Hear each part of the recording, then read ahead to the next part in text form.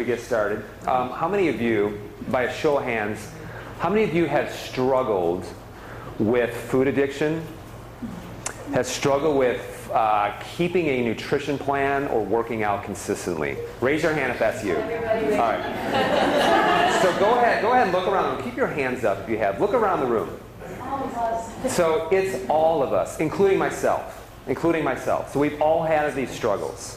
So my question to you is, is when is enough enough? So today you're going to have to leave a different person that walked in today in order for you to be able to change. You're going to have to leave a different person that walked in here today in order for you to create lasting change. And that's one of the most important things when it comes to transformation. Now, here's what I want you to do I want you to look around the room. So just go ahead, look around the room. You can make eye contact with other people. We're all friends. Just look around the room. Look at these beautiful people here. I want you to know something. Six months from now, these people that are in this room will become some of your best friends. Some of you are shaking your head and you're saying, Yep, I know exactly what you're talking about. These people here will become your best friends, and the only reason why they won't is because you decided to quit. And you decided to quit them. So I want you to look to the person to your right, and I want you to say, please. don't worry, we'll go to the left. I want you to say, please, please don't give up. So turn to the person to your right and say, please don't give up. Turn to the person to the left.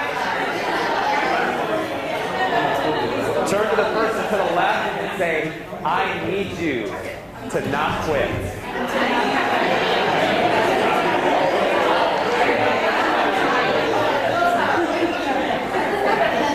Apparently, there's a lot of extra conversation going on. Meet me at Culver's? hey, I know that uh, I know that a lot of people have failed. You've, I know that you've failed. If you started a diet, I know that you've quit a diet. If you started a fitness plan, I know you probably have quit a fitness plan. But I want to know something. All of you should have a pen and you should have a piece of paper with you. I want you to write down the reason why you failed at this.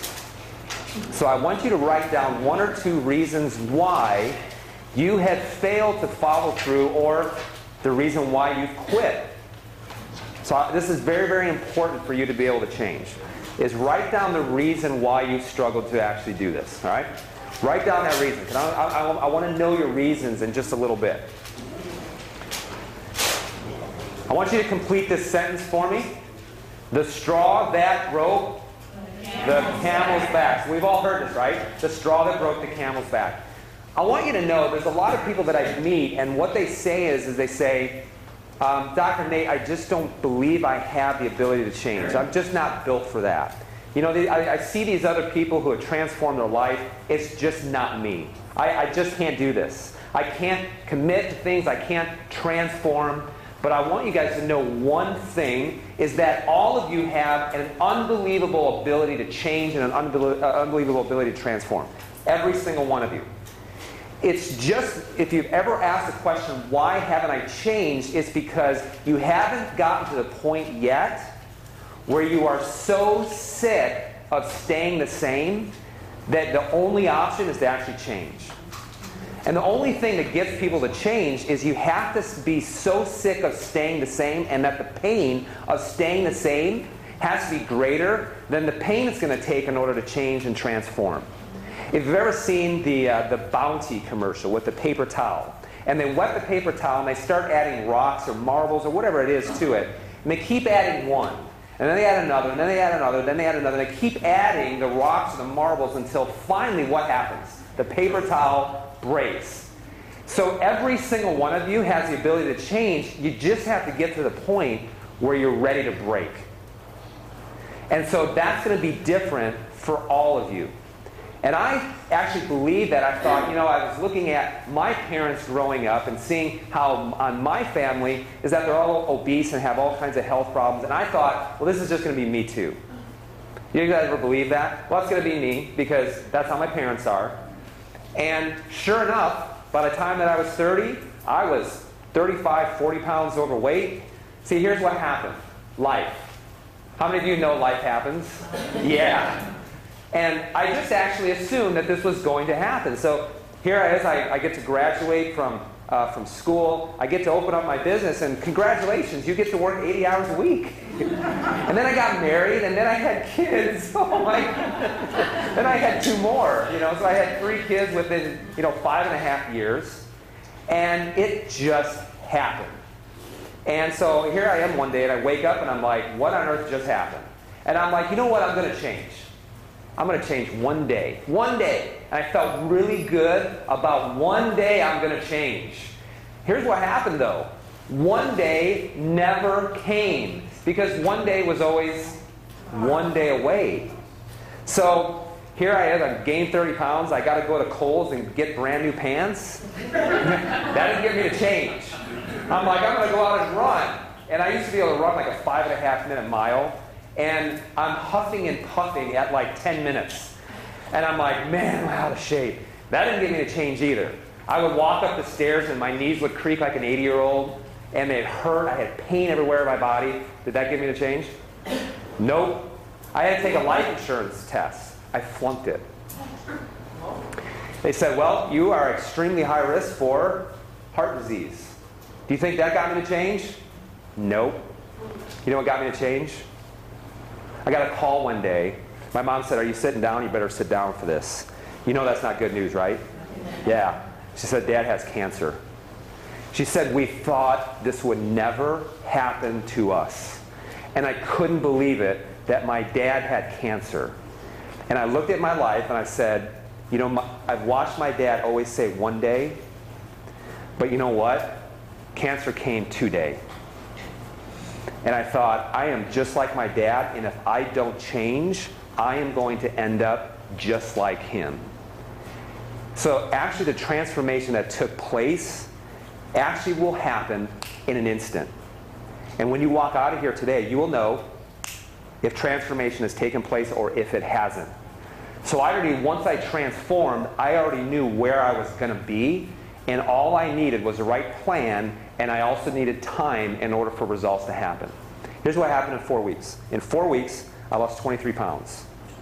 My wife lost 18 pounds in four weeks. We got in the absolute best shape of our life. And here's my secret none of my circumstances changed. I was just as busy. I didn't sell my kids, I still have them. there was no circumstance that changed in my life, but the only thing that I changed was what? Yes. So I want, to, I want you to know something. Is that coming from someone who always thought that I can't change and that I'm really weak and I don't have the willpower, you know, of, um, of an Olympic athlete, I know that if I can change, I know that you can. I want you to point to yourself and say, I can do this. And every time I say this, we get the, I can do this. no, it's like, I can do this. Point yourself again and say, I can do this. No, no, no. I can do this. I can do this. Now watch. You know that, that, that reason why you failed in the past? I want uh, someone to be really brave and bold. I want you to give me that reason. Why is the reason why you failed in the past? What is it? What's the reason? you know when stress comes? Stress. Yeah. What's another one? Lazy. Lazy. That's really good for your self-esteem. Yeah. what's what's another one? I actually did a program and it really, really worked, and then I stopped doing it because I thought I'd made it, and then and I just stopped, but it didn't. But I just came back. So. Complacency. Yeah. Right. What's another one? I'm just a hedonist. I don't like to give up my pleasures. Yes. Overwise. I deserve it. Right. That's good. What's another one? Pain? Pain. Pain meaning is this going to be painful? No, like your body Oh, yeah, yeah. I, I, I have arthritis. There's a million different reasons why I discovered why people don't change, or one of the things that's held them back. When you look at all these different reasons, all they are is reasons, right? There is, um, I have arthritis, I have bad genes. Mom and dad, I can't believe they gave me this set of genes. How dare they? There's all of these different reasons, and all they are is they're just circumstances. That's all they are. Look, one of the biggest things that I found when it comes to transformation is that you gotta stop following the strategy. I'll give you a perfect example. Look at bullfighting. So a bullfighter is successful if he can convince the bull to do what? Chase the cape. Chase the wrong thing. Um, if the bullfighter is really bad at convincing the bull to chase the cape, guess what happens to the bullfighter? He gets gored, and it's like game over for him. But one of the things that I found a lot of people is that we're really good, and if you look at this analogy, is that this cape is the strategy, the bull is you, and the bullfighter is your mindset. Okay? And a lot of times what I found is that people will say, well, I just need the right plan. You know, you know the, the thigh master, it didn't work for me, so I need to find something else. I need to find, you know, I, I heard that, um, that running is, you know, really good, so I'm going to do this special running program. Or I heard the grapefruit diet, you know, works wonders, so I'm going to do the grapefruit diet, or the Atkins diet, or the whatever it might be. And in fact, you may be here today because you thought, wow, this looks like a really good strategy. The problem is, is that the, the beauty of, of change is not in the strategy, it's actually in your mindset. Because if you never change your mindset, then there's no strategy that will work. Because what will happen in seven to ten days when it gets hard? You will do what? You will quit. So it doesn't matter about the strategy. So I want to actually encourage you stop following the strategy. Now, the strategy is important, but the thing is that you have to actually change the mindset. So here's what I want you to do, Head. Stop chasing after strategies and do this instead. So you have to get to the mindset first. And once you have the right mindset, then and only then does the strategy even make be important. So once you change the mind, then the next thing is, is okay, now I have to find the right strategy. And believe me, the strategy that I have is unbelievable. It's beautiful. It's going to work, and it works how much? 100% of the time. 100% of the time. So let's talk about developing now the right strategy. Change the mindset, now develop the right strategy. Now here's a myth. Weight loss is all about calories in and calories out. It's about food deprivation, and it's hours and hours of exercise. When I ask people, it's like, what do you need to do in order to get your, to get your fitness, nutrition, um, uh, your health? What do you have to do in order to get it back? And people say, well, I need to go to the gym for 10 to 12 hours every single week. And I, I need to eat cottage cheese and Melba toast. That's, you know, as long as I can do that, then everything is going to be, you know, I can do that. And we think, just like last night, I'm trying to see where your guys' mind is at. Last night, you're like, hey, we're having a pizza party tonight because tomorrow it's all over. but the thing is, is that we think it's all about deprivation, about constantly being hungry, and it's about just doing hours and hours of things that we absolutely hate, going on the treadmill. And we think we have to do that for the rest of your life. And it's a complete and utter myth. So weight loss isn't actually about that. Weight loss is actually about regulating hormones. These hormones are insulin, leptin, and human growth hormone. So you work on regulating those hormones. Now watch. You eat the right types of food, and by incorporating the right type of fitness. So it's eating the right types of food and incorporating the right types of fitness. Now, the reason why, when it comes to nutrition, why you think if I'm going to go on a quote unquote diet, it means that you're hungry, that you're never going to always be hungry. And a lot of times people say, well, I just, I can eat whatever I want, I just have to eat what? Less of it. We just think it's this whole calorie kind of deprivation kind of thing. And it's not about calorie deprivation, it's by the foods that you're eating, what kind of um, effect does it actually have on hormones, particularly insulin, leptin, and human growth hormone? Now, real quick, you guys know what insulin does inside your body? All right, insulin is designed to put sugar from the blood into your cells. Is that a good thing? Yes, it's a really good thing. Um, so it's designed to help transfer energy from the blood into the cell. It's a really good thing. It's a really bad thing if all you eat is sugar and you keep dumping copious amounts of insulin inside of your body. Because if you keep dumping insulin inside of your body, what happens is, is your cells actually stop responding to the insulin. That's a really bad thing. And that's like pre-diabetes. And eventually you end up with type 2 diabetes. Do you guys know, by the way, type 2 diabetes, uh, you can reverse this? Yes, you can reverse this. Type 2 diabetes is not an illness. It's not a disease, it's an injury. And you just have to figure out how to stop injuring the cells inside of the body. Now, leptin. Leptin is actually um, a hormone that helps your body burn fat as an energy source. How many of you are really good fat burners? Probably very few of you are very good. Rex back there you're going to see is an unbelievable efficient fat burner.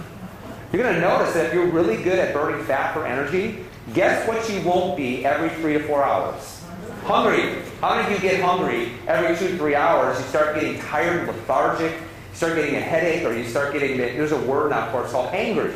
You ever heard that? Hangry? Yeah. That means you're not a very good fat burner. Because really, if you're an efficient fat burner, your hunger should be like this all day. I remember one time I went two days without eating. And I kid you not, I was so busy, I just forgot. I forgot to eat. I went two uh, two days, and I'm like, oh, I just, I had forgotten to eat. I kid you not. But guess what my energy was the whole time? Was completely level. So leptin does this. What about human growth hormone? You guys know what human growth hormone does? Human growth hormone is the anti-aging hormone. Human growth hormone keeps your skin tight. It helps you not to have cellulite. Everyone's ears just perked up. Human growth hormone helps you to burn fat. Human growth hormone helps you to build muscle. So if you incorporate the right type of nutrition, the right type of fitness, these hormones will be working for you and they won't be working against you. And it's so easy. You guys ready to hear some nutrition truths? If you're ready, say, I'm ready. ready.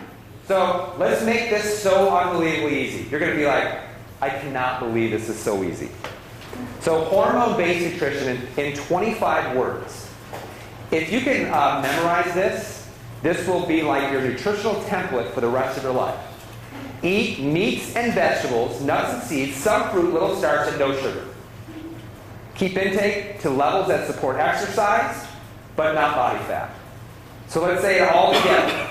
Eat meats and vegetables, nuts and seeds, some fruit, little starch, no sugar. Keep intake to levels that support exercise, but not body fat. Is that really easy? It is super easy. We're going to talk about that in just a second. Now, how many of you said, uh-uh, no way? Did you just say no sugar? Because last time I checked, I need sugar. Yes. So we'll talk about that in a second. So here's why you must avoid sugars and grains. What do I mean by grains? Like Ezekiel bread. Yes, flours. Yes. So bread, pasta, rice, things like that. So not only that, but also sugar. Number one, sugar is your fast track to obesity. Do you guys know how much the average American consumes in sugar every year? Just give me a pound. Just a poundage. What do you think the average American consumes in sugar? 35 pounds. 35 pounds. I wish. Give me another number. 110. 100. What's that? 110. I wish. Oh, 156 pounds. You guys are consuming a small human every single year in sugar. Now, a hundred years ago, the average amount of sugar that the average American consumed was just 10 pounds. Heart disease, diabetes, and cancer were almost non-existent back then. Well, we're living longer, aren't we? Not really.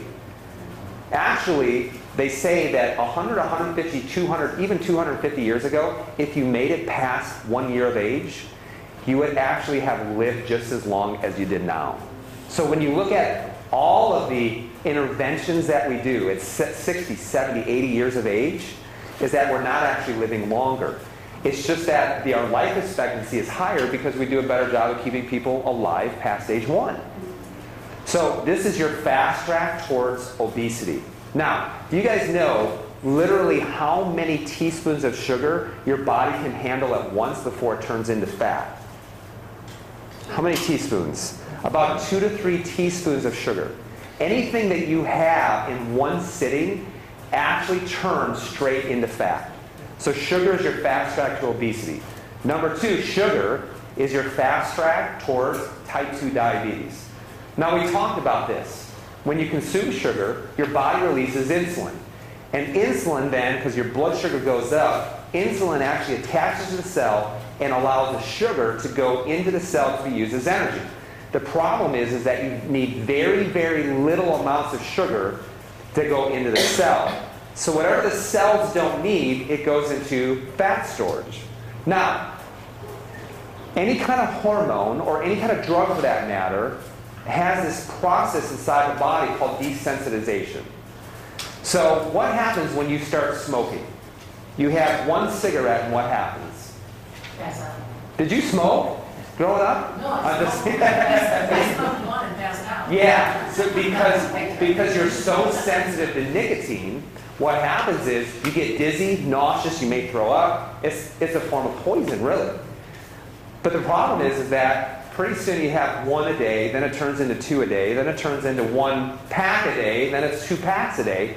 So in order to achieve the same tickling of the brain, you have to do what? Do more of it. So essentially what happens is, is you become nicotine resistant, which is why you need to smoke more and more in order to get the same result. What would happen if you go to the doctor and you said, listen, doctor, I'm up to two packs of smoking a day. I'm just not feeling it anymore. And he says, well, I have a great suggestion for you. Let's double the dose of nicotine, and I guarantee you'll feel it. Let's go up to four packs a day. now, you're going to feel it for a little while, and then eventually you're to, that's going to wear out too. So here's what happens with insulin. When you guys were born, your cells were so sensitive, so sensitive to insulin. This is why kids don't put on weight.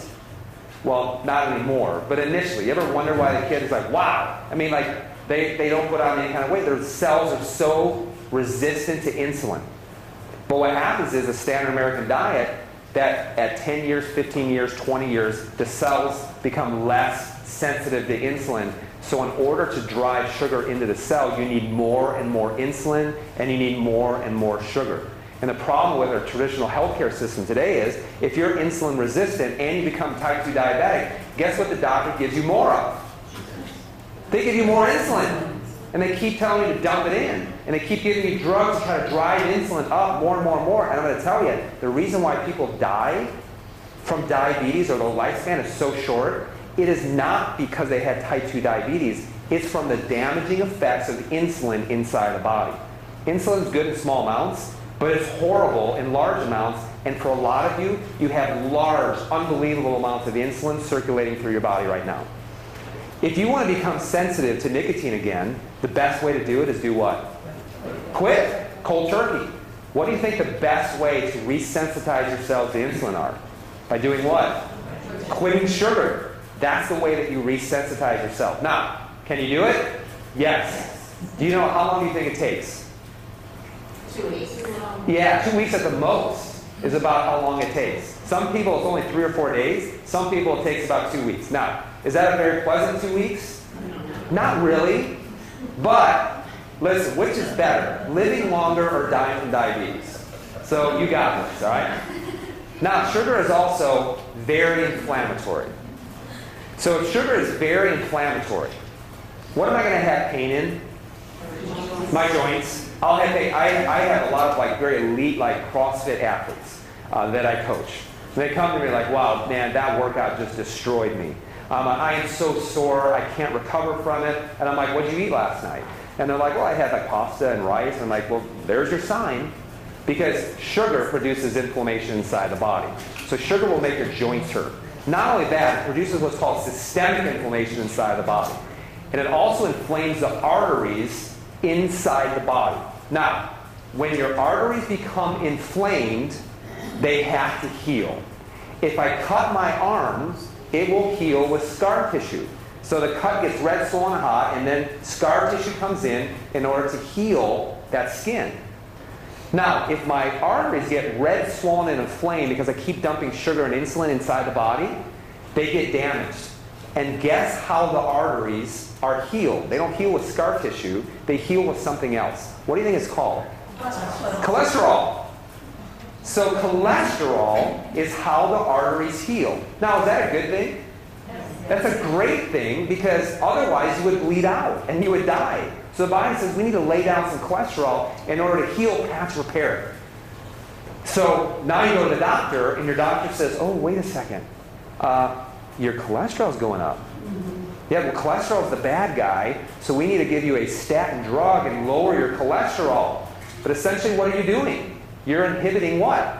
The healing taking place inside of those arteries. Now, cholesterol is not the bad guy, and cholesterol is not the cause of heart disease. It's inflammation. So don't punish what the body's doing trying to heal you. You have to do what? Get off of sugars, which will lower inflammation, which will then automatically reduce your need for cholesterol medication. Does this make sense? Wow. Now here's what happens too. High amounts of sugar and inflammation will increase your blood pressure. Here's why. I start laying down cholesterol. Which one makes my heart have to beat harder? A nice clear artery or this one? Yeah. So now I do this. If I start to narrow it, my heart says, we got to get oxygen to your tissues and cells. Let's increase the pressure. Is that a good thing? Absolutely, it's a good thing. The problem is, it's not good if you keep doing that for years and years and years because your arteries will then begin to harden and start to calcify. But again, it's not the blood pressure's fault. Your body always does the right thing at the right time. It doesn't mess up. It doesn't make a mistake. So the problem is not blood pressure or cholesterol meds. You have to go backwards and say, why is my body starting to do this? Why is it trying to adapt to this? And the reason why is what you're putting into your mouth every single day. How about this? Sugar fuels cancer. You guys ever heard that? How sugar fuels cancer? Do you guys know that if you looked at a cancer cell, a cancer cell has 17 times more receptors for insulin? Whoa, right? What that means is if a cancer cell, a normal cell, and a cancer cell, 17 times more receptors for insulin in that cancer cell, that means that the primary fuel in order for a cancer cell to, survive is what? Is sugar. That's the primary fuel. Now, does sugar cause cancer? No, because everyone who consumed large amounts of, of sugar would actually get cancer, but it doesn't happen. But the moment the cancer starts to take root inside the body, when you're having this type of diet, and the standard American diet, what you're doing is you're fueling the cancer and you'll drive it out of control. Here's how why we know this. If you look at a PET scan, so a doctor needs to do a PET scan in order to find where the cancer is coming from. What do they give you? Radioactive glucose. And then they sit back and they watch and they say, well, look at because the, the cancer cells will actually take in the glucose first because they have a higher metabolism for sugar. And here's the last one. Sugar is addictive. Maybe without me saying that, you probably knew that. So how many of you are like, yeah, sugar is very addictive? So here's what they found. Sugar tickles the brain just like nicotine. Sugar tickles the brain just like heroin. Sugar tickles the brain just like cocaine, and it tickles the brain just like alcohol. And in fact, sugar will tickle the brain just like any drug or anything that you can become addicted to.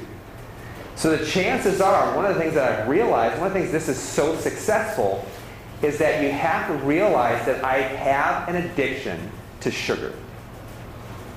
I find it amazing that people say, you know, I don't ever drink alcohol, and uh, I don't smoke, so I'm a pretty good person.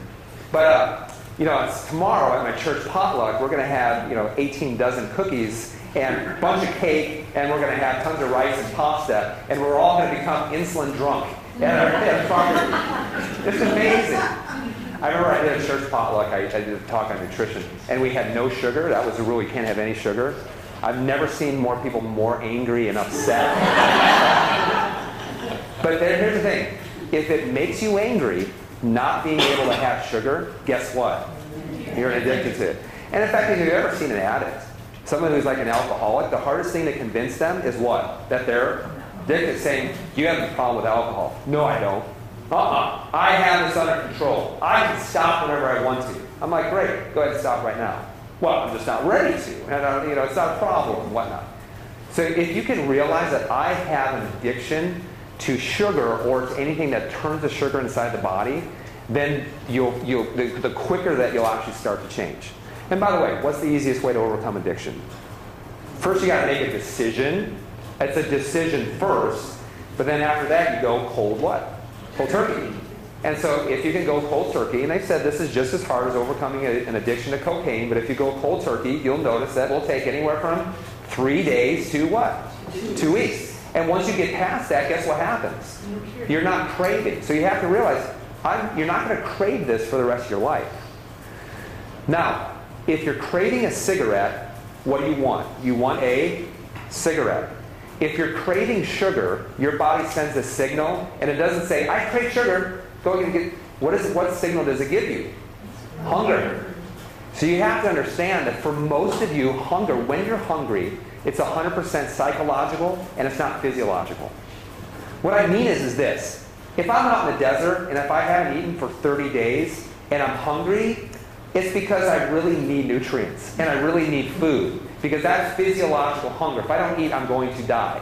But I mean, come on, guys. If two hours from now you're hungry, you have enough fat stores inside of you to be able to keep you alive. You have to understand that feeling of hunger is not real. It's not real. It is completely psychological. So, three days into it, and they're like, oh, I'm so hungry right now. I'm going to I'm gonna email Dr. Nate really angry stuff, because he's all at fault for this. you just have to say, wait, wait, wait, wait, wait. This is not real. This is psychological. I just need to be able to push through it. Okay? Let's talk about um, the, the sources of sugar that you can, because this is not a no sugar diet. You need carbohydrates. You do. By sugar, I mean carbohydrates. It's just you need to getting the right types of them. Now, you guys don't need to write all of these down uh, because um, we, uh, we actually, I'm going to be sending out an email, and I also, on our um, resource page, we have this whole entire talk on there. So I want you just to write down, if you need to, just big idea kind of stuff. Now, when, talk, when you talk about carbohydrates, your carbohydrates should be about 25% of your total calories per day. About 20%. If I look at most people's nutrition, it's about 70 to 75% is all in the form of sugar. So you do need sugar, just not as much. 25%. Now, here's a revelation. The best forms of sugar are what? Veggies, preferably in what state? Raw, lightly steamed, or you can saute them in coconut oil, okay? But the best is going to be raw, always raw, because the nutrients are actually in there. So, any kind of veggies, we're going to give that a thumbs up. Now, we talk about fruit. We're going to talk about fruit, and we talk about little fruit, not 12 to 15 servings of fruit. Because when you look at fruit, fruit is sugar. What kind of sugar is it? Fructose. Now, fructose is a little bit different than any other form of sugar because you know that your body cannot metabolize fructose directly into energy. Do you guys know it has to go to the liver, get stored, and then converted into glucose? Have you ever uh, heard of fatty liver disease? epidemic now. Why do people have fatty livers? Because they're consuming too much fructose, particularly what's known as high fructose corn syrup. So the thing with fruit is fruit is going to be high in sugar. So there are some fruits that are going to be the lowest in sugar, and these are the ones that I want you to consume. What kind of apples are these? Granny Smith. And what are these? Berries. berries. So berries and Granny Smith apples are going to be the sources of fruit that are going to be the highest in fiber and the lowest in sugar. So these are going to be okay in moderate amounts. You're not going to have 28 of them all in one sitting. Now let's talk about this, because I don't want to turn you into a food Nazi. I'm going to have three or four people who are going to turn into a food Nazi and say, You can't have that! Never! so I don't want you to turn into it's all good or it's all bad. Very few food is either all good or all bad. It's kind of like within this kind of gradient. Because listen, w- would I eat McDonald's? Would I eat McDonald's? Absolutely. If I hadn't eaten for 30 days and I was in the Sahara Desert, and you say, here's McDonald's, I'm like, no, that's not good for me.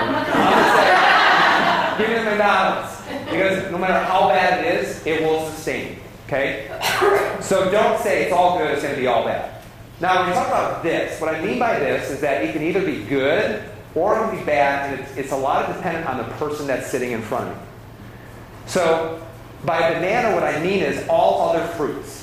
So all other fruits. Now, fruits are filled with kind of phytonutrients. They're filled with um, uh, vitamins and minerals. But the problem is they're also chock full of sugar, and you can get your vitamins and minerals from things other than fruit.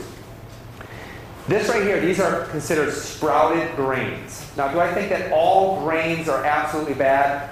Not necessarily. Sprouted grains are going to be the most. If it's processed grains, then absolutely. Now, with this right here, this is an example of a, what, what kind of potato is this? Sweet potato. So why is this kind of, okay, if you look at a sweet potato versus a white potato, sweet potatoes are lower in sugar. Now, sometimes people should be on this, and the kind of people that need to be on this might be kids. Okay, so kids don't have insulin problems. It may be an athlete who works out for performance. Now, I will be honest with you, full disclosure, I do have some of these because I have done to the T exactly what I'm going to recommend for you, and I actually lost a tremendous amount of weight and it started to dig into my muscles too. Just because of the way that I exercise and how much that I exercise, it's very hard to get all my macronutrients in just by um, doing, you know, just vegetables only. Okay, so this would be for like people who have achieved normal weight, for kids, or for people who have normal blood sugar, normal um, uh, blood pressure, normal cholesterol af- after they've actually achieved their weight loss goal. Okay? So it's going to be, but for some people who have those issues, absolutely not. Don't have that right now. I remember someone, some of you might be thinking this. Wait a second, Dr. Nate, didn't God create bananas? And I say, absolutely, He did. What He didn't create is this whole overweight, pre-diabetic, high blood pressure, high cholesterol issue. You're the one who created that. So we have to go off of this plan for a while, and maybe you can go back onto it actually down the road. Now, here's what you absolutely avoid. So we do this, absolutely you avoid this at all costs. So white bread, this right here, this is not cocaine, this is actually this is sugar. and really just not just sucrose, which is sugar, but it's anything that you see on a label that has the OSE. So anything with the ending of OSE means that it's actually sugar. How about white rice? And listen, I know my, like one of the things my kids love is they love going to those uh, those Japanese steakhouses they cook in front of you. And um, they're like, but the rice isn't white. I'm like, that's because it has soy sauce in it. it's white rice. So white rice, very, very high in sugar. What about a baked potato? Baked potato turns into sugar as soon as it hits your salivary glands. Now, what about this? What about these two? So fruit juice. Don't give your kids fruit juice, and for you, don't drink juice either. The reason why is that fruit juice is all what? It is all sugar. And in fact, we talk about some of these fruit that you really should avoid. This is even worse because what they've taken is they've taken all the fiber out of it to only have the fruit juice. So all it is is actually fructose. Now, what about this? So, like, did I need to actually go over this? Do I need to explain it? now, here's where a lot of people will get will go really, really off, and they don't realize it. So this is, can be like a huge blind spot for a lot of people. It's your condiments and your salad dressings. This is where people can get really off because they're like, I'm going to have a salad, and this is so healthy, and then they pour the salad dressings or the condiments on it. Most salad dressings you're going to look are sweetened with high fructose corn syrup. You're going to look at, at uh, a lot of condiments will have sugar or high fructose corn syrup. And actually look at the back and see how many grams of sugar are actually in every single one, and it will absolutely astound you. By the way, what's a good salad dressing that you can have? Oil and vinegar and some pepper. I mean, and that, that, that will not contain t- uh, tons of sugar that's actually in it. All right? Does this make sense? All right, cool. Now, how many of you thought, well, I don't have a problem because everything I consume is diet? no one? Come on. I always had like four or five people. Raise your hand and say, well, that's okay. I don't have a problem with sugar. I, I just have diet stuff. No one has diet stuff in here. All right, we have at least 50 liars in here. so here's the thing. Because a lot of people will say, well, well that, I don't have brown sugar because I consume aspartame or NutraSweet or sucralose or Splenda. I do that instead. And here's the thing. Please consume sugar if you have to make the choice between the two. And the reason why is this. Is so this is zero calorie and it will contain three different sweeteners. Now you'll notice that aspartame, they're actually getting rid of it. Why would they get rid of aspartame? Why would they take it out of our food supply? Because it contained 51% of all of the health complaints to the FDA. So out of all the different additives, like 70,000, there was one, aspartame, that got 51% of them. What they found it was causing neurological issues, it was causing fibromyalgia, it was causing um, problems with tip of the tongue speech, it was, it was absolutely damaging the nerve system. It actually was destroying the gut flora, the, the, the microbiome in the gastrointestinal system, leading to an increase uh, in colon cancer. It was causing leukemia, they found, in, in, higher amounts it was causing leukemia. And the thing is, is that this is a completely man-made me- chemical. If it's a man-made chemical, please don't consume it because it doesn't belong inside the body. So now you see that they're getting rid of aspartame. So you're, you're going to see less and less with aspartame. They're just robbing Peter to pay Paul. They're just putting something else in. So the newer one, uh, the newer one is going to be what's known as Splenda, also known as sucralose. This is an artificial sweetener. So they're like, well, this is great. We'll sweeten it with Splenda. It's made from sugar. It's not made from sugar. It started off, started off as sugar and went through an 18,000 step process in which they had to actually add chlorine to it. Guys, you don't want chlorine inside your body. To then become a semblance of sugar. It's like a sugar like product. One of the things they found with Splenda is that number one, when you consume Splenda, 15% of it is not excreted by the body. And it actually gets stored in the liver and in the kidneys and in the gastrointestinal system. The other thing that they found is that that Splenda destroys the gut microbiome. So if you want problems with leaky gut syndrome, that actually causes things like adrenal fatigue, uh, hormone issues like thyroid issues, uh, problems with the uh, problems with the brain like depression, then get leaky gut syndrome. And Splenda absolutely contributes to it. Now they're actually saying, oh, you know, Splenda, probably not so good. We got a new one. And in fact, we haven't used this one in 25 years. Everyone's forgotten about it. Let's reintroduce it. Guess what that, what that was called? No, it's called ACE K. So ACE K was right around the kind of saccharin, called acesulfame potassium, also known as ACE K. So now they're putting that in a lot of things now, and they're, they're calling it natural. So all of these are absolutely artificial. So completely, completely avoid that. Please, for, the, your, for your health's sake, for your future, avoid it. This is also in a lot of foods too. Anything that says, you know, low fat, usually, or diet products will have this. Now, what about this? So this right here, you guys ever heard of what's called Zevia? Because I know that a lot of people who come in, they're, they're, they love cola, addicted to pop, things like that. So Zevia is one of those things like this, okay? The reason why I say this is because the best thing is always going to be is water, like H2O, like water. You guys know water. So water. but if you're like, man, I, I gotta have cola or something, then switch to Zevia. And here's the reason why. So Zevia will not have any artificial coloring, won't have any artificial flavoring. Uh, flavoring. It's sweetened with stevia and it's also sweetened with xylitol. Okay, so those things are okay. They're not damaging to the body, but they're not enhancing the body. They're not like a vitamin or any kind of mineral. So if you absolutely must have some kind of cola, then switch to switch to Zevia. Okay. Now I will say that sometimes xylitol people don't handle it very well. It's like a sugar alcohol, so some people might get a little bit of GI upset. Um, and some people may get a little bit of a headache, and a lot of it's be depending on if you can tolerate it or not. Okay, so I'm not talking about a six pack every single day. I'm talking about maybe one or two. Now I know that my son, who's nine years old, he's not a cool kid unless he pounds down a Mountain Dew with his friends. So instead, they're like, Talon, you get to be the special one, and you get to pound down Mountain Zevia. now you guys can get this at Jewel. They actually Jewel will have it and uh, when we have a break in a couple minutes, you guys can sample it, okay? Especially those who like, what am I going to do about my cola?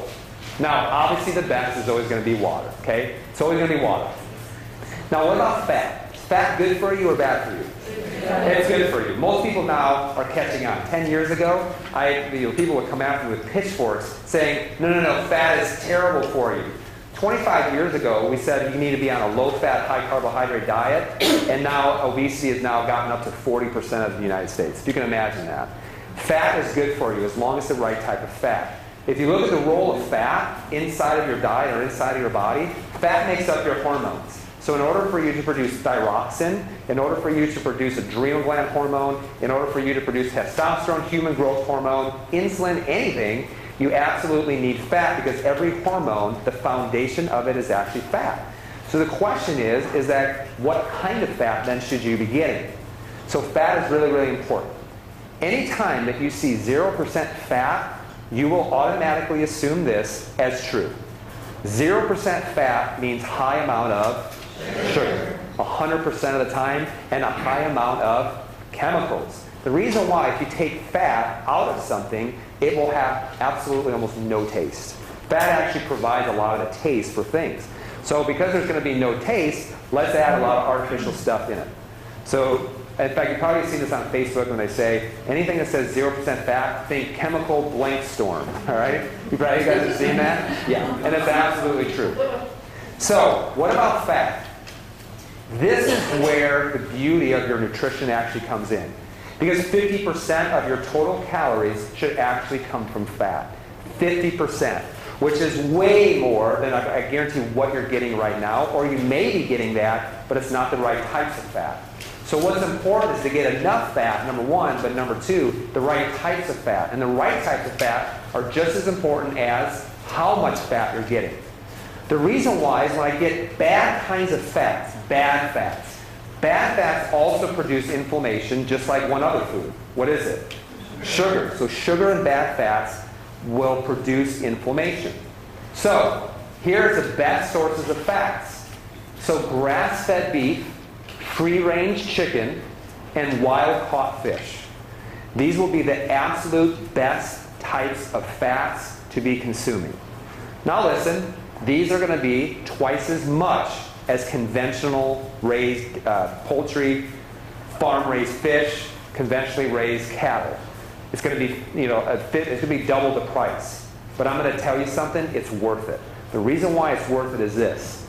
You guys know what the leading cause of bankruptcy in the United States is today? Medical bills. Did you know that? Medical bills are the leading cause of bankruptcy. What was that? Feeding cattle. Feeding cattle? yeah. yeah, because what does cattle get? Cattle feed are fed what? Conventional are fed what? Grains. Why do they give them grains? To fat them up. Light bulb, right? So they give them grains to fatten them up. And we're, if you want to fatten yourself up, then eat a lot of grains. So anything that's grass-fed, free-range, and here's the reason why, is because when they when they're consuming grains, then it changes the fat from good to bad. Okay? Now, what about coconut oil? Coconut oil is good or bad? You know, like, what kind of fat is coconut oil? It's a saturated fat. Call it also known as a medium chain triglyceride. Is saturated fat good for you or bad for you? It's really good for you. And all of the studies that said saturated fat is bad, guess what kind of saturated fat they were actually looking at? They're conventionally raised. So coconut oil, especially virgin coconut oil, are things that you can actually cook with. You can fry with it. You can cook with it. In fact, this is all that we cook with is basically coconut oil. How many of you have actually ever taken coconut oil and just gone down the hatch with it? Anyone ever done that? Yes, I'm going to tell you to do that uh, at the end. All right? You're going to have to get used to it. One tablespoon of coconut oil contains 14 grams of medium chain triglycerides that the body actually prefers to use as energy instead of sugar. One tablespoon? One tablespoon. Now, it also is very anti inflammatory. So, when we have people who have a lot of brain issues or depression, we start having them take two to three to four tablespoons of this every single day because it's unbelievable for the brain. For the brain. And it's also anti inflammatory. Now, with this, too, do you guys know if you want to prevent cavities and whiten your teeth, have you ever done oil pulling? So, take that scoop of coconut oil, just let it dissolve in your mouth, and do that for 20 minutes. Did you guys notice you can do that? So there's like 99 different uses for coconut oil. Okay, so th- uh, this is something that we have like a whole tub of in our house. Uh, Costco, yeah, health food store. No, no. So coconut oil has a very, very high smoke point, so it doesn't turn rancid. This oil here can't. This is extra virgin olive oil. No, so with olive oil, you can consume it, but you don't cook with it. So as soon as it smokes, it's rancid. So this is something that you finish your food with and not necessarily cook with. Now, what about like things like almond butter? So you've heard of peanut butter, right? How about almond butter? Is almond butter good? Remember we said eat nuts and seeds. So almond butter is something that's good. What about nuts? So here's the difference between good nuts and bad nuts. So the good nuts are going to be raw. The bad nuts are going to be ones that are roasted. Here's the reason why. When you roast them in oil, the oils turn rancid. That's a type of fat that is what? Inflammatory inside the body. I consume a lot of raw nuts and raw seeds. So what are some good nuts that you can eat? Almonds. What else? Walnuts. Cashews. Cashews are a little bit higher in sugar, but they're okay. Macadamia nuts. Pumpkin seeds. Yeah. So there's tons of different things. You just got to make sure that you get them raw. Now, what about butter? So if it's pasture butter, grass-fed butter, is butter good for you? Yes. Absolutely. It is awesome for you. And I love butter. I love butter. I've caught my son like scooping out. now what about this? So some of you, I got a couple of emails prior to this, and they asked, well, what about omega-3 fatty acids? Like, what's the deal with those? So omega-3 fatty acids good for you? Yes. So they'll actually come and be in high amounts with wild-caught fish. But if you're someone like me, I do not like fish. I'm sorry. I have three goldfish at home. I could never ever imagine myself eating them. I love them that much. So I, I don't like fish. Now, the wild-caught fish are going to be the highest in omegas, but I also know there's a, there's a sweet spot with a lot of people in getting enough. Because it was really hard to get it and only having fish like one time per week. And one of the things that I found is two to three grams of fish oil per day actually helps with inflammation. Okay? So this is one of the ways I supplement with omega-3 fatty acids because I know that I'm not getting enough omega-3s just with my diet. Okay? These will be high, a lot uh, higher like omega-6s, and the omega-3s are really important to get from animal sources, and you get that from fish. But I don't eat fish, so getting them from a supplement is actually going to be good. All right? Here's what you totally avoid when it comes to your fat. Okay? Now, what this is is that this. Now, this is bad because there's bread on it, but the other thing is too is what I'm talking about is conventionally raised meat. So conventionally raised meat and dairy. When they feed them corn, it changes the, your omega fatty acid ratio. So remember we just talked about omega-3s? The conventionally raised is chock full of omega-6s, and omega-6s are pro-inflammatory. How about farm-raised fish? So farm-raised fish are so devoid of nutrition that, like salmon, for example, they have to add the coloring back in to make it pink. Um, this is like processed, you know, processed chicken or you know, ca- the, the, the non-cage-free type poultry. All right. Now, how many of you know that a chicken nugget's not good for you, right? but you're going to have chicken breasts that usually are raised with antibiotics, that are raised on corn and not actually free roaming, and you're going to see a big difference in the actual taste when you have those two.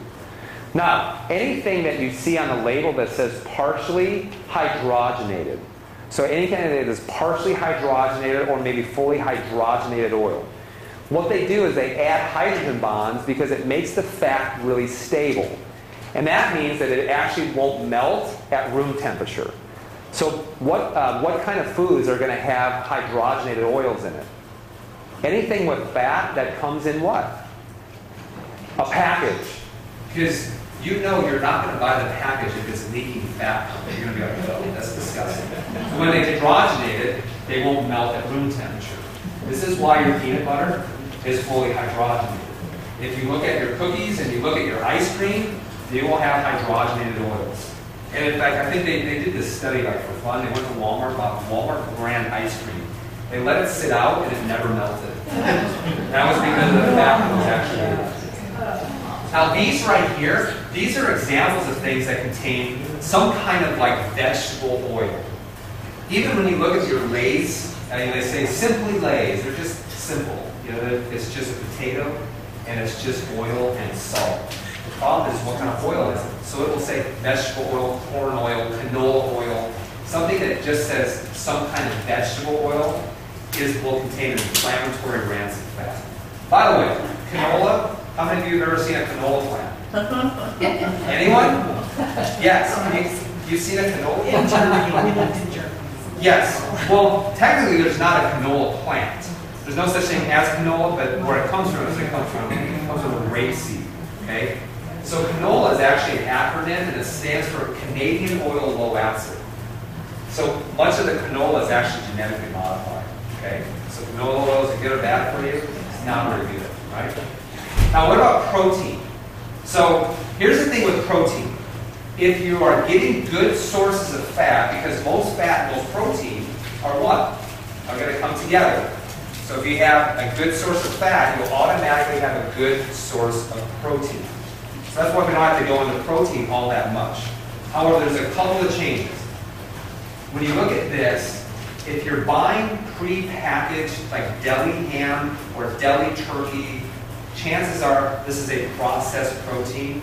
There's a lot better sources for you out there. Okay. Now a lot of them will contain nitrates, nitrites, will contain monosodium glutamate, also known as MSG, which is an excitatory neuron that you absolutely must avoid. So a lot of these are actually seasoned. And plus on top of that, what kind of sources are they coming from? They're not coming from grass. I've never seen grass-fed packaged roast beef. This is an FYI. Now, what about this? What about um, whey? So people ask me, how many use whey protein? Yeah, whey protein, absolutely phenomenal. Whey actually comes from milk. So the same with whey is the same with your meat sources. So if it's coming from milk, then the cow must be what? So it'd be grass-fed and pasture source. Now a lot of uh, sources of whey, because I get a lot of whey, I get about 70 grams of protein of whey every single day. The reason why whey is so good is because it contains all of the precursors for glutathione, which helps your liver detoxify. So I want to be detoxing all the time in order to keep my body free of toxins. So you want to make sure that with the whey that it comes from grass-fed sources. That's the number one thing. Number two, it should come from concentrate, not isolate. It just means it's not as heavily processed. Number three, you want to make sure it's not sweetened with, because most of it's sweetened with two things, either fructose, which is sugar, or sweetened with what? Sucralose. Most of it is sucralose. Now, if you are getting banana hot fudge flavored whey protein, they didn't put a hot fudge sundae in there. It's all artificial sweeteners. And so you want to avoid the sucralose at all times. So both of these are actually would be really, really good. Now, 25% of your total calories should come from protein. Now, if you look at Atkins' diet, Atkins actually says, hey, 60 to 70% of your nutrition should come from protein. The, the problem with that is that it's not sustainable for longer than two or three months.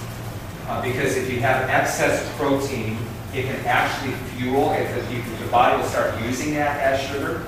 And on top of that, is that it can be very, very hard on your kidneys over the long term. So you want to do something that's going to be sustainable for how long? For the rest of your life. So you want something that's to be sustainable. So you probably don't need as much protein every single day as you, as you necessarily think. Now, for those of you who filled out that macronutrient assessment, we actually are determining how many calories you're going to be needing for weight loss by actually looking at how much lean body mass you have and then figuring out how much protein you should be consuming every single day. One of the things I found is that most people consume too much protein.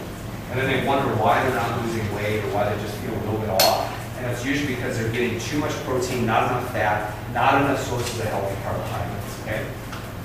So eat meats and vegetables, nuts and seeds, some fruit, little starch, and no sugar. Keep your intake levels that support exercise, but not body fat, right? Does that make sense? All right. I'm going to pick on you right now, Michelle.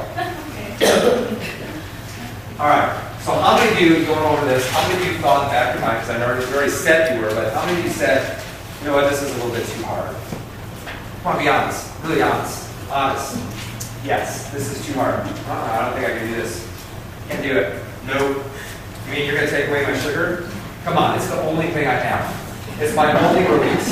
My only dopamine, so I need sugar. I need something to get away from my hectic day. Listen, I know that in some form, probably all of you have been thinking that. And then let me tell you something. For right now, it's okay. But if you're still thinking that when you leave, then you're gonna you're gonna fail. I can promise you that. I had a uh, I had a woman who came into me. I have all kinds of patients who come into me. People with type 2 diabetes, people with high blood pressure, people with cancer. Uh, we had a woman, we had a, a young girl uh, yesterday came in with a 20 degree scoliosis. I mean, um, horrible. All kinds of people asthma, sinus issues, chronic pain, all of these different kinds of patients who come in. And I'll never forget this one woman who came in. She brought in a stack of um, a stack of medical records that were this long. Uh, she only weighed maybe about 100 pounds. It was like five foot four, skin and bones. And I looked at her intake form, and she has cancer, stage four cancer, everywhere in her body, everywhere. And so I go in there and I say, uh, she said, I said, why are you here? She says, well, Dr. Nate, I, I, want, I want to be healthy again. And I'm looking at her history, and here she still eats fast food every day. Uh, she drinks tons of like diet soda, and she smokes a pack a day. And I said, if you really wanted to be healthy, you would have quit smoking. And I said, so today you're going to quit smoking. Can you do that? And she said, no, I can't. It's just too hard. It's too hard. And I said, well, let's do an experiment then. Uh, I'm going to follow you around for the next week. And if you light up that cigarette take one drag, I'm going to hold a gun to your head and I'm going to pull the trigger. And I said, would you be able to do it then? And she said, absolutely. And I said, why? She says, because my life would depend on it. What she didn't realize? She didn't realize her life depended on it right then and there. So here she is doing all these bad things, and she, she didn't realize that what she was doing right now, her life depended on it. Here's the thing your life does depend on it. If I would pull the trigger or you would continue smoking or continue doing things that's destroying your health, the end result is that you still die and you die early. The only difference between those two is just time. It's just time. And really what it is, is it's a form of slow suicide. That's all it is. But when I said that to her, the light bulb went off. She says, wow, it really, yep, I understand that. So if we're saying that it's hard or I can't do it, here's the thing. You're not to why you want to change. Because when I say, why do you want to do this? If all you want to do is lose some weight, or get be a better crossfitter, or you want to just fit better in your wedding gown, or you want to look better at this wedding that you have coming up, or three months from now you want people to say, wow, you look great. What are you doing? That's a very, very weak why. And in fact, this is something that will not carry you through for the rest of your life. Once your why becomes big enough, you can accomplish anyhow. You can do anything if your why is big enough. So right now, you have to write down what your big why is. It's not I want to lose 20 pounds. It's not I, I need to get in better shape. It's what will you be able to accomplish once this happens. Someone came to me uh, about a week ago. She says, you know what, Dr. D, I finally figured out what my big why is. And so it wasn't that I needed to not be a type 2 diabetic anymore. My big why is, is God's not done with me yet. I have, he's got big things planned for me. He's going to call me. And if I'm sick and suffering and miserable, I'm no good for God and others. That's called a big lie. This is doing it for all the other reasons besides for yourself. So when I want to eat that food, when I want to do those things, do I mess up? Yes, I do sometimes, but it's because I'm not anchored my big why. But I know that if I'm doing this for others, for the mission, if I'm doing it for you, it becomes a whole heck of a lot easier. The Olympics just finished up, right? And when they interviewed the, the gold medalists, I don't think I saw any of them say, hey, why did you work so hard? Why did you sacrifice? Why did you do that? They didn't say, because I wanted a medal. I wanted this medal. I wanted everyone to adore me. That's why I did it. Now, some people who were at the Olympics did that, but those who were the true champions were said, you know what? I saw my mom and my dad sacrifice for me. And I did this in order to make them proud and to pay them back. Or I did this for my grandfather, you know, who died a month ago, and I, I did it for them. When you look at the true champions that are out there, you're going to say, why did you do this? And it will never be to look better, to feel better, to fit my clothes better. It will be for just a big, hairy, audacious why. Let's talk about exercise. You talk about exercise, you have to understand physiology and what makes you go. What makes you go? Your body uses two things for energy. It either is going to burn on fat or it's going to burn on sugar. Which one does your body prefer to burn? Actually, fat. It prefers. Which one does your brain actually prefer? Fat. It prefers fat. So it's going to use sugar or glucose, or it's going to use fat. It's only using those two things. You're going to be a sugar burner or a fat burner, and this is going to depend on how you exercise. So here you got the Olympic marathon runner, and then you got the Olympic sprinter. They both use two very different energy sources for fuel. So the Olympic runner, what does he have to use for fuel? He uses fat. So while, he's running this two and a half hour marathon, the only thing that he's using, minus about 10 minutes when he starts, is fat. That's the only thing. Now, is that a good thing? Because we think I have to burn fat while I exercise. And it's actually backwards. You guys got to wrap your brain around this. A marathon runner uses fat while he's running. He trains his body to be a very efficient fat burner during exercise. So his body is highly efficient at burning fat as an energy source during exercise. But once he's done with exercise, guess what he goes back to? Sugar burning. Because his body says this I need fat for fuel during my exercise. So you know what I actually need to store to be available during my exercise? I need to store fat. And in fact, when you look at a marathon runner, they will have some fat on them. And guess what they also have very little of? Muscle. And the reason why is when they train this long duration, the body says, you know what? It is not very advantageous for me to have any kind of muscle on my body.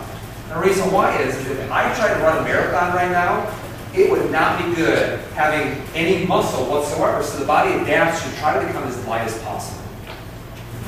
Now the problem with that is the lighter they become and the less muscle mass they have, what do you think happens to their metabolism? It has to slow down. Because one of the things that actually drives your metabolism is how much muscle mass you actually have. Your exercise should actually promote burning fat and increasing muscle mass. But when you go and you do cardio for an hour at a time, you're reducing your muscle mass, thereby reducing your metabolism. So what happens is you have to do what? Eat less and less in order to keep up. And this is where people get on this never-ending, um, like, like the treadmill, uh, figuratively speaking, in which they'll never be able to catch up because they're always having to eat less and continue to exercise more as your metabolism goes down. Now, on top of that, if you want to develop a hormone problem, keep exercising for long duration. There's this, this hormone called cortisol. You guys ever heard of it? Mm-hmm. I'll go over it in a second. So if you want to put yourself in this cortisol rut, do a lot of long duration type exercise. Now, so he needs to actually store fat away from his exercise to make it available during exercise. When you look at the sprinter, the sprinter actually exercises in a different way. Rather than doing long duration exercises, they do what? Very high intensity, very short duration exercise. They get their heart rate up very high and then let themselves recover. So while they're doing this high intensity exercise, the only fuel they're using is what? Sugar. So during that exercise, the only thing they're using is sugar and stored sugar, also known as glycogen, which is stored in the muscles and stored in the liver. So essentially, your exercise, all you want to do is deplete all of your stored sugar so that the body says when you're resting, hey, wait a second. If how you're exercising is at high intensity and you exclusively need sugar to do this form of exercise, then you know what? When you're not exercising, let's go ahead and take some fat, let's convert it back into sugar so that it's there and it's stored for your next round of exercise. So this sprinter uses sugar exclusively during exercise, but when they're away from exercise, guess what they're burning? Fat. So here's the thing. If you go and you do an hour treadmill, you burn fat for about 50 minutes. When you're doing high intensity, short duration exercise, you're burning fat for about 24 hours and 50 minutes. So which one would you rather burn fat for? 24 hour or 23 hours, 50 minutes, or for 50 minutes? Exactly. And it all depends on how you exercise. So the exercise I'm talking about is all high intensity and short duration. So how long are we talking about? Not even that. Eight minutes. Very astute answer. It, and it may be different. It may be just three minutes. It may be 10 minutes. But it really shouldn't be longer than 20 minutes. Okay? Because you really can't sustain high intensity. Now, another name for this would be called metabolic conditioning. You can also call it, we call it in here, max T3. You can also call it CrossFit, because CrossFit is a form of high intensity, short duration exercise. But all in all, you call it metabolic conditioning, which is actually the characteristic of it is exercise done at a high intensity at a very short duration. So anywhere from two minutes, three minutes, all the way up no more than 20 minutes. Now during that time, you can try to keep it consistent, or you can do work and rest, work and rest, get your heart rate up, let it come back down. Get your heart rate up, let it come back down. We're trying to keep it at 80 to 90% of your maximum heart rate throughout the whole entire set. Okay? So here's what this does. When you're doing long duration exercise, there are benefits. So I'd rather you do that than do absolutely nothing. But some of the drawbacks are is that it produces a cortisol problem. Doing long duration of the same type of exercise will actually stiffen the entire spine and joints up, which is why you see marathon runners, they can't squat anymore. And listen, your exercise should also be functional. What, I, what do I mean by functional? These are things that you need to do in everyday life. So give me some things that you need to do in everyday life. I need to lift things. I need to pick things up off the ground. Did you say get off the toilet? No, get off the ground. Oh, get off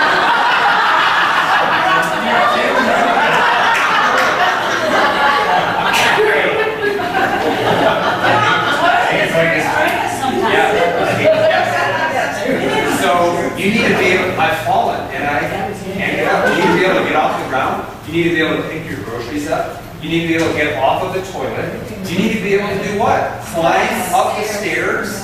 You need to be able to carry your grandkids and not be like, oh, I can't because I'm going to, you know, hurt myself. There's so many different things that this form of exercise is really, it's really training for you to be unbelievable in everyday life. So it's a lot different than just getting on. Because does anybody need to do this in everyday life? Not really. You don't. Now, do you need a jog for long distances? Maybe, but our body's designed to do short bursts of this exercise. Uh, think of this: if a bear is chasing me, I need to jog or sprint. Sprint. Sprint. If I said, "Hold on a second, bear," I just want you. I'm going to do this for half an hour. This is the way our bodies are actually designed. Now, you said getting uh, getting off the ground. I said getting off the toilet. Probably the reason why it's at the front of my mind is we had to put my grandfather in a nursing home for one reason and one reason only. Can't go to the bathroom. Can't even get off of the toilet.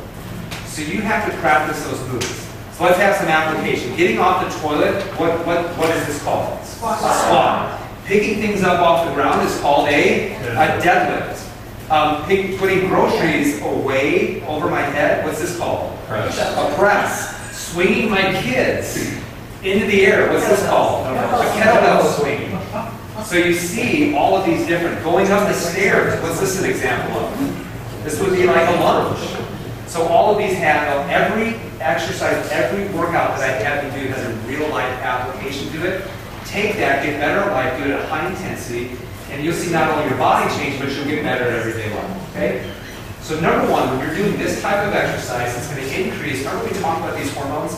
High human growth hormone, which helps you do what? Burn fat, build muscle, and it tightens your skin. You guys know that I'm actually 65 years old? I'm not, right? It also increases testosterone. Now, ladies, are you going to look like a man if you do this? Not at all. You have very little testosterone, but it's beneficial for you. Now, what's the, one of the biggest problems of men over 50 years of age? They all have what? Low T. Low T. The number one thing to increase your testosterone is start exercising at a high intensity. So it increases that. Number two, this will decrease cortisol. Write that one down. Write down that one. Cortisol. Now, running for long distances actually increases cortisol. cortisol is a good hormone in acute stress. It's great if a bear is chasing you.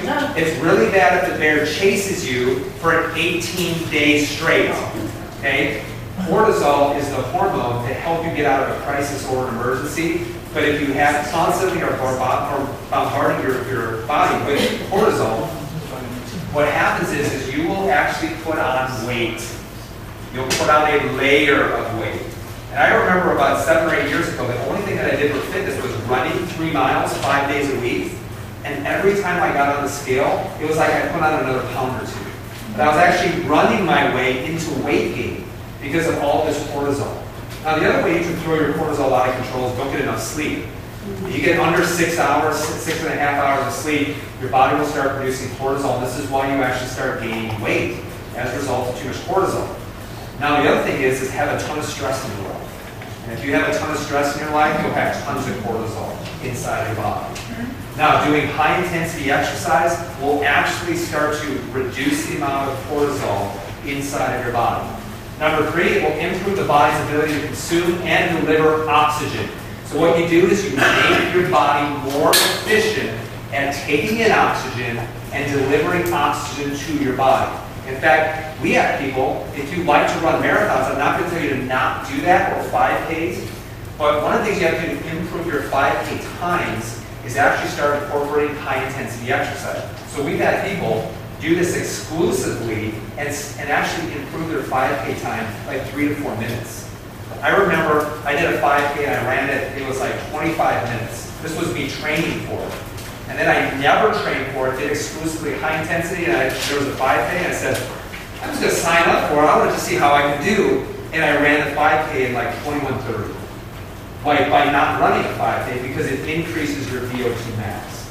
This enhances both your anaerobic and your aerobic energy system. So it will make you a better 5K runner, and it will also make you stronger, which is your anaerobic system.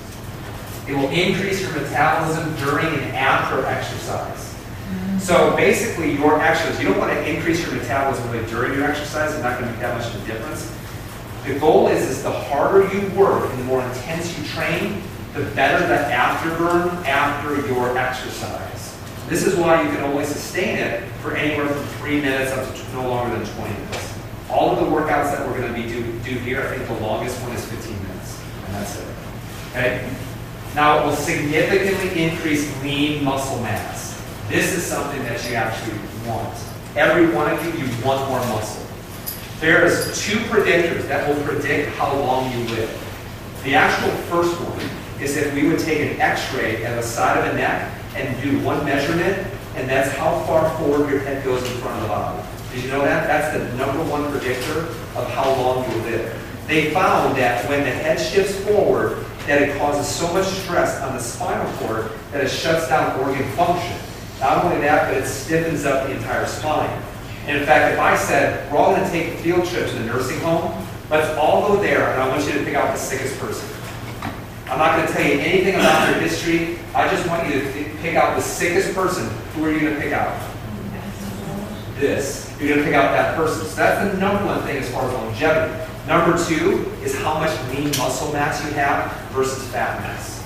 So basically, the more fat mass you have, the less longer you live, more chance you have of cancer, particularly breast cancer and colon cancer, and heart disease. But the more lean muscle mass you have, guaranteed the longer you live, and not only that, the better you live and the more independent. Let's uh, let's wrap this up. We're going to talk about cortisol, okay?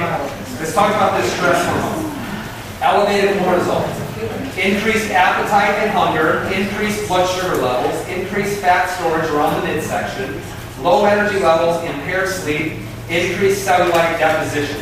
Now I could go through all of those. None of you will hear this, but ladies, as soon as I say that, you're like, whoa, whoa, wow, okay, I gotta get this cortisol under control. How many of you have had those symptoms though? Okay? What this means is how do you get how do you get cortisol out of control is a couple things.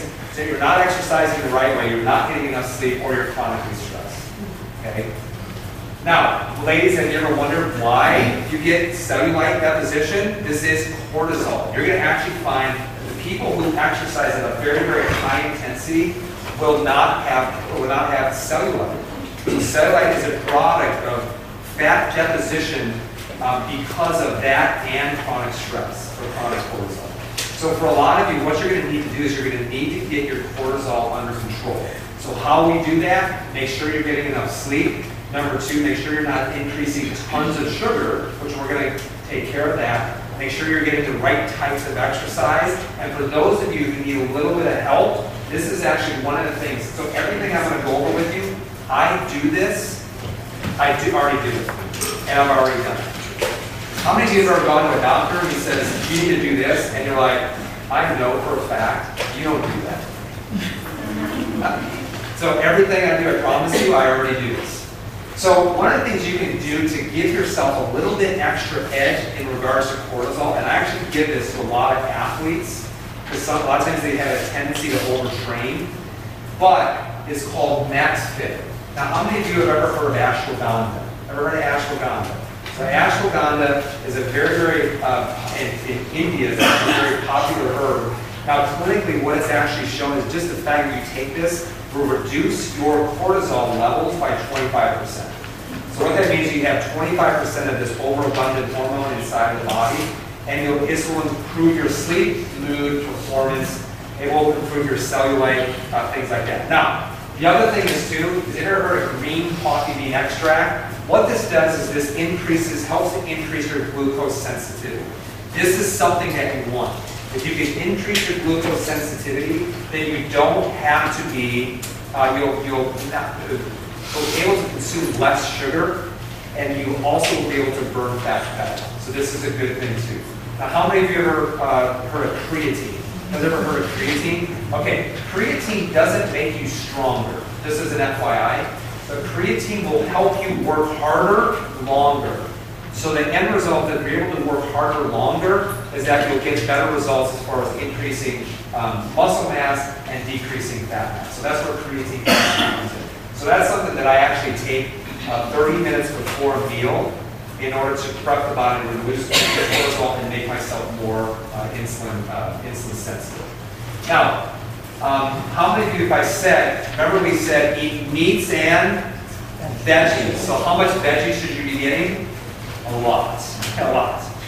So how many of you have a hard time getting 12 servings of vegetables every day? Yeah. How many of your kids? Oh, listen, my kids, they don't have, they, they, my, my kids know all about health. They know it here. That doesn't necessarily mean they want to do it, right? So I have to sneak the veggies into their nutrition. And I actually do this too because I know that I, it's very hard to go to the grocery store every two to three days and try to get veggies and get my 8 to 12 servings every day of vegetables. One of the ways that you can get your healthy carbs, make it super easy, is that, you guys ever heard of greens? Evaporated greens. So these are greens that are evaporated and you can scoop it into whey protein. Every scoop that you get will give you six to eight servings of vegetables every single time. Is that a good thing? That's how you get. Now, one of the reasons why I do this is I want to get the vegetables in there, but I also, if you ever heard of greens, greens are extremely anti what? Inflammatory. This is a good thing because a lot of people struggle with chronic inflammation. So when I do different testing on people and do urinalysis and do blood work, one of the overarching themes that I see with people is that they're chronically inflamed. This helps to reduce inflammation. So if you can reduce inflammation, what are some of the things that you'll see get better? Blood pressure, cholesterol, and you also see chronic what? Chronic pain, joint pain actually improve. So this is another thing that improves performance. Now, how many of you have ever gotten your blood vitamin D test? Have you ever got a blood vitamin D test? Okay. So if you get a vitamin D test, I recommend that all of you know these numbers as far as what your vitamin D levels actually are. And the reason why is this. Now, vitamin D they found is the higher your vitamin D levels inside of your body, the better immune system, the less cancer, the less chronic disease overall that people have. Now, the other thing is too is that I tested about 150 people in our office, and the, and the theme that I see is that when people are overweight, they actually have very low levels of vitamin D. The people who are actually in a healthy weight, their vitamin D is actually very high and very healthy. By healthy, I mean 60 to 70 nanograms per deciliter. If you're at a vitamin D test, you should be shooting for 60 to 70. Some people I recommend get 80, 90.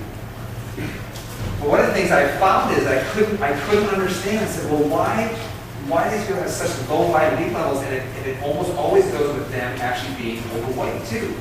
So this came out actually a year ago. One of the things they found is, is that vitamin D actually regulates this hormone called adiponectin. And adiponectin is actually regulates fat burning inside the body.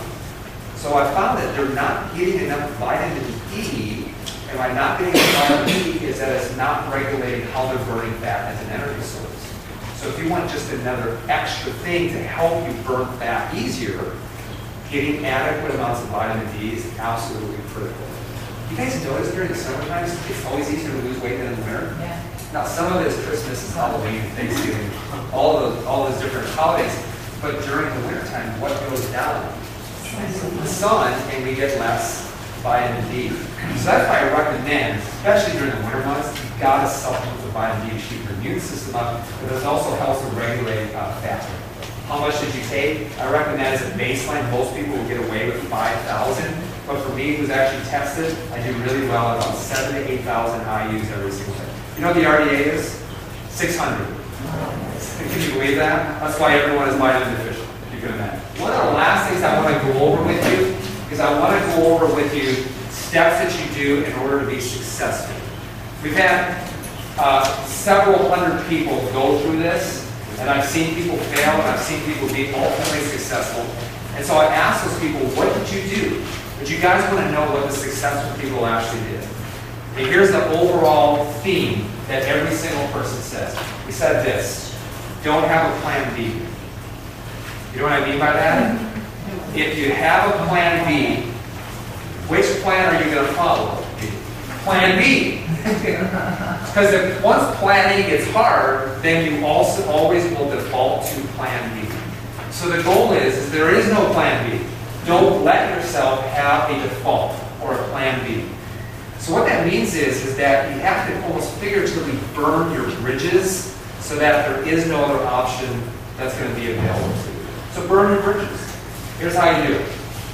Number one, take out the trash. You know what I mean by this, right? What do I mean by take out the trash? Clean out the cupboards. And what do you do with it? Throw it away. If it's food, don't give it to a food pantry. Why do you want those people to get sick? Throw it away. Because I found that if you don't throw it away, there's going to be a moment of weakness where you say, let me just go back into the, uh, back here in the pantry. Way in the back. I go to the back. It's way back here, so I, I would never get to it.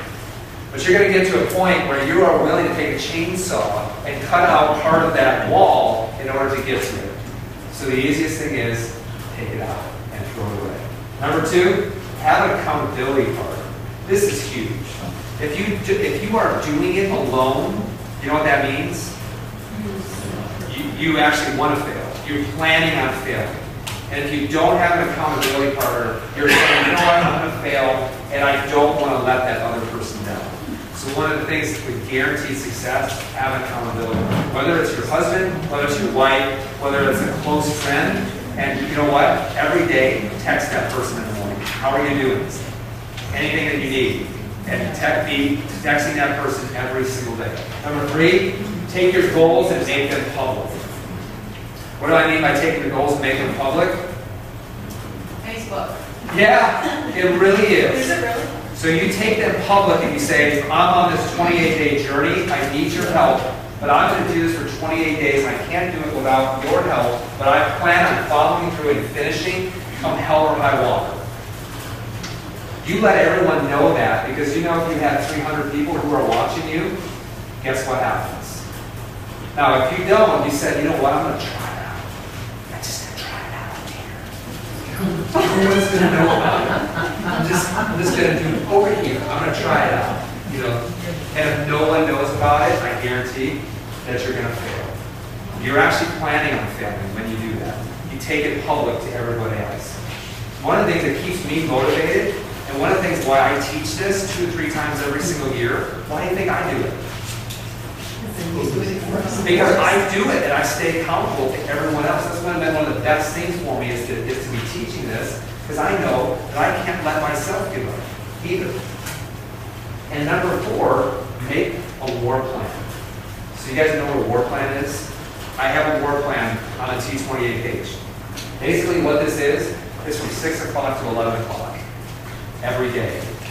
What your war plan is, is you sit down and you write, you write out how you are going to be accountable to your time for the whole entire week.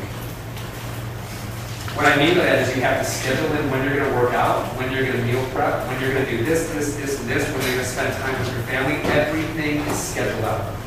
Do you know that my whole entire week is scheduled out? It is scheduled out. I have time that I'm going to be in the office, time that I have to do paperwork, I have time that I have to prepare, I have time that I have to spend time with my family. Have to, I want to, but it has to be scheduled. So my whole week is completely and utterly scheduled in. If I have time that I'm going to relax, it's scheduled in.